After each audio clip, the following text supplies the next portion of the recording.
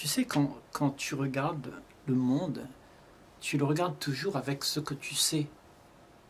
C'est en fait, c'est déjà installé en toi ce que tu sais du monde.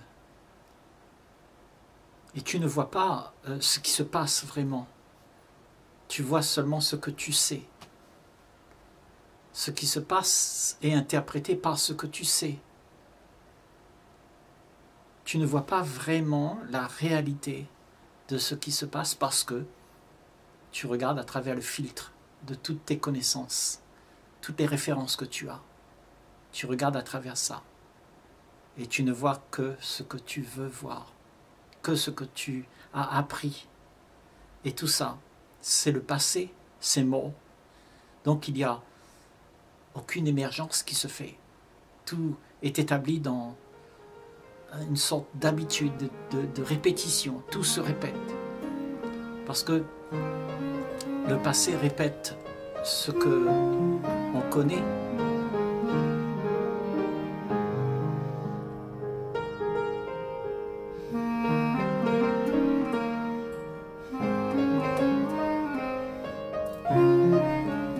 que nous connaissons du passé est répété chaque jour, à chaque instant.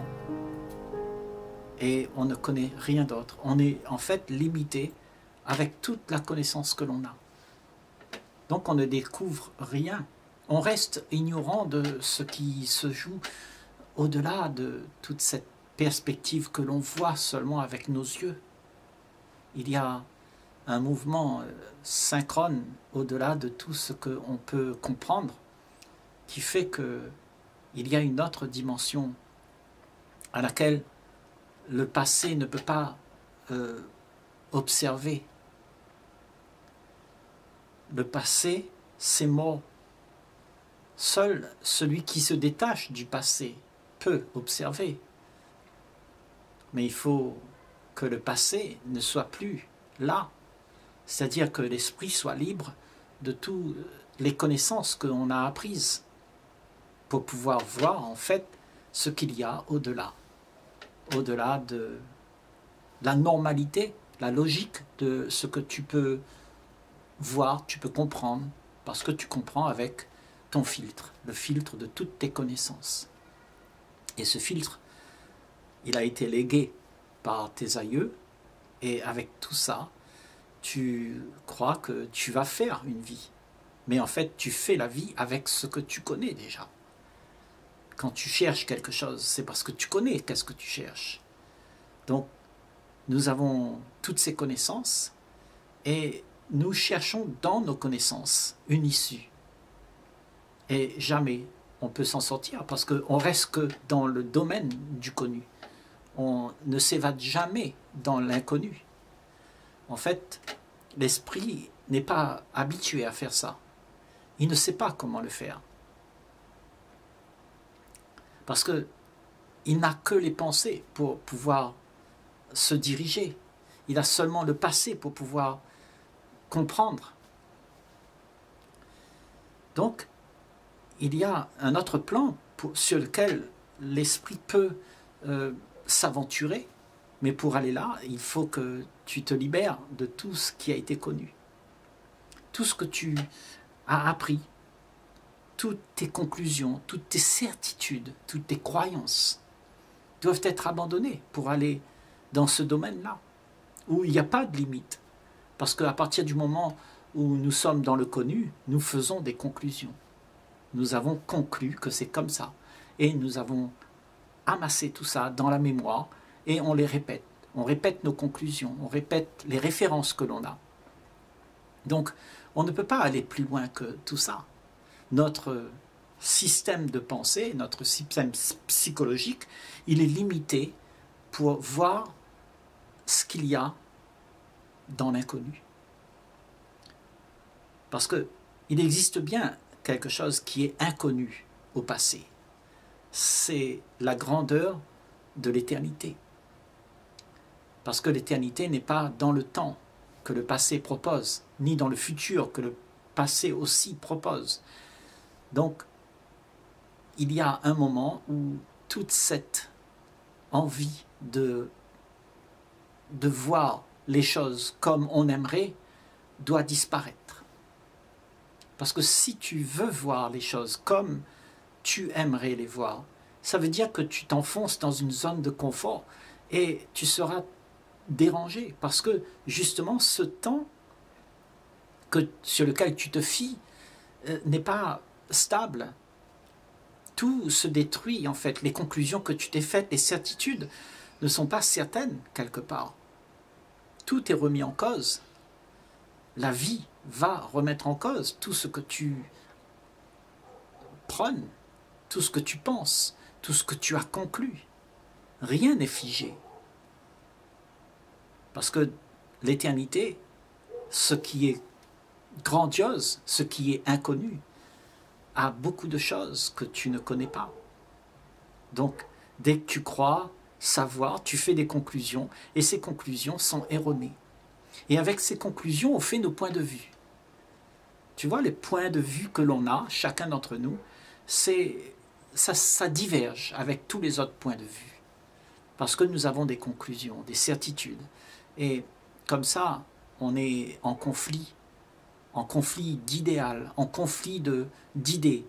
Et en fait, on prône quelque chose qui, euh, qui appartient à l'individu. L'individu, lui, il a appris. Il a sa culture, il a ses croyances, sa religion, euh, son mode de vie. Et il prône que ça, c'est sa vie. Et quand il prône que ça, c'est sa vie, ça crée la division dans le monde. Parce que, justement, ce sont des idées qui divergent. Nous avons le monde entier où chacun a sa propre façon d'interpréter les choses. Et en fait, c'est pas grave que nous soyons comme ça, mais si tu peux le remarquer, ce sera une aubaine parce que en fait, tu vas t'apercevoir que tout ce que tu sais n'a aucune valeur et donc, euh, tu ne voudras plus argumenter avec personne. Ça ne t'intéressera plus de prouver quoi que ce soit. Tu n'auras rien à prouver. Parce que tu ne sais rien. Et ça, c'est la plupart d'entre nous, on croit savoir. C'est ça notre problème. On croit qu'on sait beaucoup de choses, mais en fait, on ne sait rien. Absolument rien. Ce que tu sais, probablement, c'est identifié à un petit grain de sable dans l'univers mais il y a le reste de l'univers qui est infini d'ailleurs.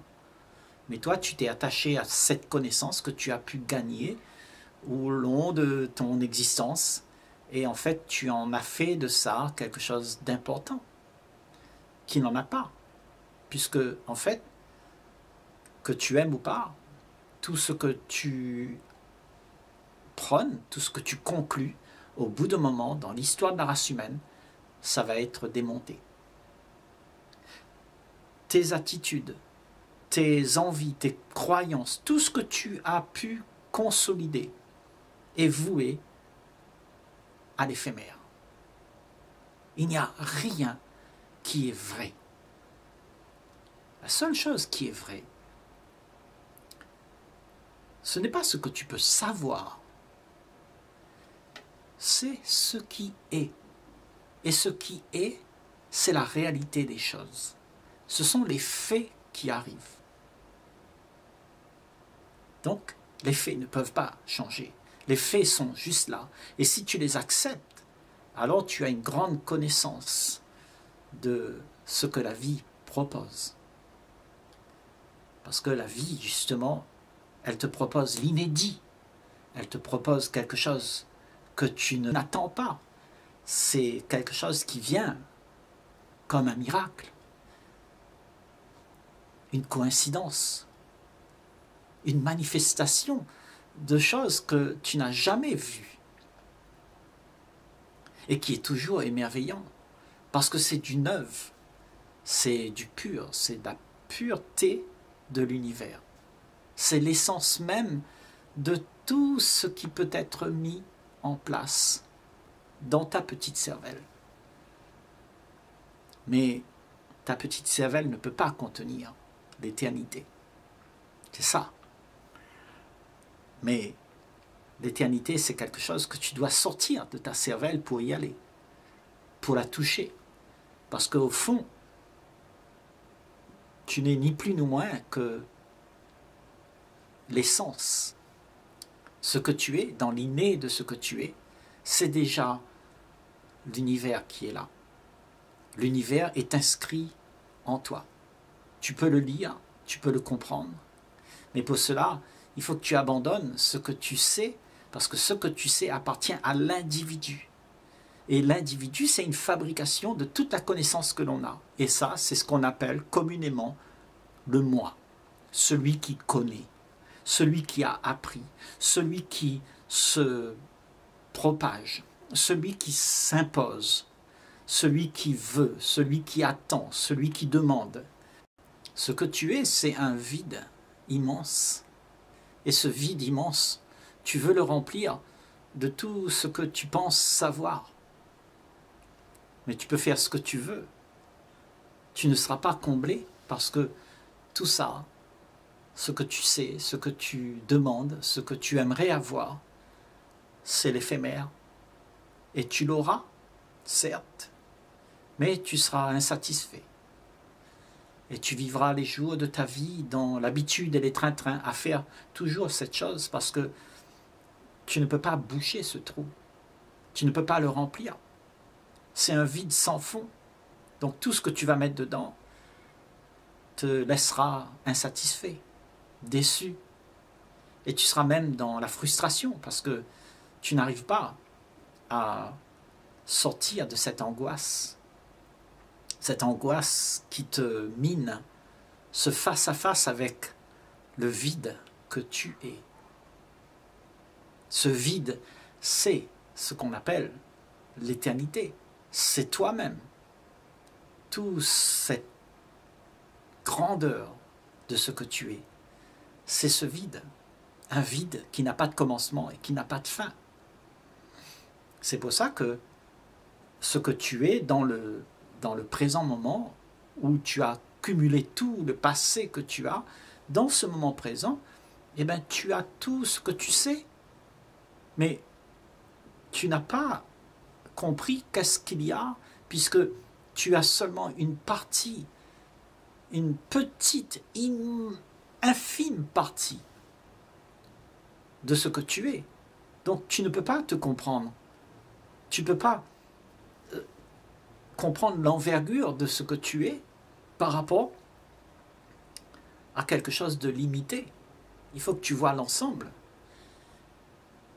Il faut que les limites soient sorties pour que tu puisses élargir ta perception, pour voir l'ensemble de ce tout grandiose que tu ne peux pas capter avec l'esprit individuel. Parce que l'esprit individuel reste dans la limite de ce qu'il a appris. Et tout ce que tu as appris n'est que le passé, ce qui fut. Et cette éternité, elle est l'émergence d'un instant qui n'a pas de commencement et qui n'a pas de fin. Là où le temps n'est plus. Donc tu es dans ce vide sans repère, sans le repère que le passé t'a donné, sans le repère que toutes tes connaissances te donnent pour pouvoir exister. Parce que tu t'appuies sur ces connaissances, tu t'appuies sur tes conclusions, sur tes croyances, tes cultures, tes envies, tes peurs, tes angoisses. Tu t'appuies là-dessus pour faire en sorte que tu existes. Mais quand tu t'appuies là-dessus, quand tu existes à travers ce que tu sais, alors tu es ce personnage qui est limité. Et celui-là, il n'est pas vrai. C'est une construction que tu t'es faite de toi et que tu t'es donné d'être avec les rôles que tu joues. Tu veux te faire valoir à travers tout ce que tu as pu gagner donc cette connaissance, ces mémoires que tu as, c'est un paquet de choses que tu trimbales avec toi, c'est une histoire que tu trimbales avec toi. Tu t'y attaches et tu te fais valoir à travers ça. Et malheur à celui qui vient te demander d'être autre chose. Parce que tu ne sais pas faire. Tu es ce que tu penses. Tu es ce que tu as appris. Parce que tu t'es identifié à toutes ces choses que tu as gagnées. Et cette identification fait que tu es limité dans cet espace où tu dis ça c'est moi.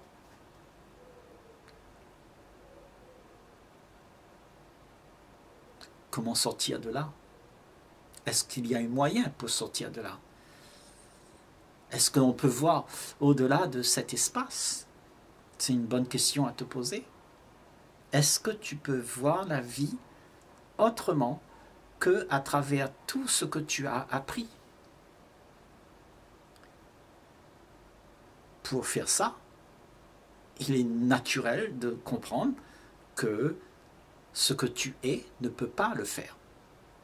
Ce que tu es n'est qu'un paquet de mémoire. Donc, est-ce que tu es un paquet de mémoire À te demander, à te poser cette question? Est-ce que tu es un paquet de mémoire qui déambule et qui réagit aux événements avec ce que tu as appris? Est-ce que tu es cela? Ou est-ce que tu ne serais pas en dehors de ça Et quand il n'y a pas ça, il y a la vraie nature de soi? Quand il n'y a pas des mémoires, il y a la vraie nature de soi. C'est-à-dire quand il n'y a pas le temps, alors tu existes. À partir du moment où le temps existe, tu existes pour ce que le temps propose. Parce que tu t'es identifié au temps. Mais en dehors de ce que le temps propose, il y a la nature de toi qui n'a pas de commencement, qui n'a pas de fin. Et la réalité, elle est là. Elle n'est pas une mémoire qui déambule. La mémoire, c'est du vent, c'est du passé, c'est fini, ça n'existe pas. Mais tu t'es construit avec ça. Tu t'es donné une allure, une posture, un rôle pour exister à travers tous ces mémoires que tu as gagnés. Tu exiges, tu as des convictions, tu as des intérêts, dans tout ce que tu dis pour pouvoir garder le statu quo de ce que tu as appris, comment être. Donc tu t'es construit comme ça. Ce que tu es, c'est une construction. Mais cette construction, elle est une illusion. Ce que tu es pour de vrai, au-delà de l'illusion, il y a l'émergence. L'émergence même de ce qu'il y a au-delà de toutes les mémoires. À partir du moment où il y a le temps, l'authentique soi ne peut pas être présent, puisque l'authentique soi n'habite pas le présent, il habite l'éternité. Donc,